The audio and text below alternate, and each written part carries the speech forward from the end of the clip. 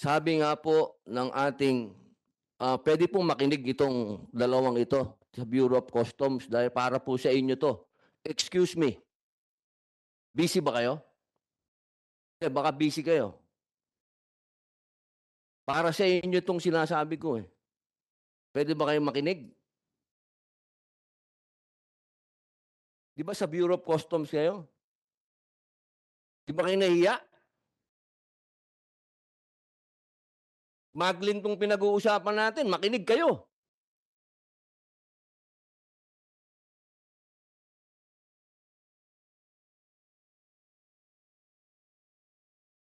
Magsasaka ang mga nahihirapan dito, kabuhayan ng mahihirap na tao. Agricultural country tayo. Sinatabi tating agricultural country tayo pero nag import tayo. Hindi ba nakakahiya yun?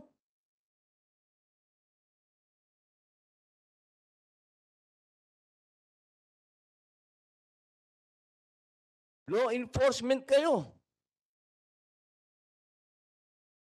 Pinamumugaran tayo ng smuggling. At hindi ako, sa tingin niyo ba, masaya ako na life imprisonment lang kayo?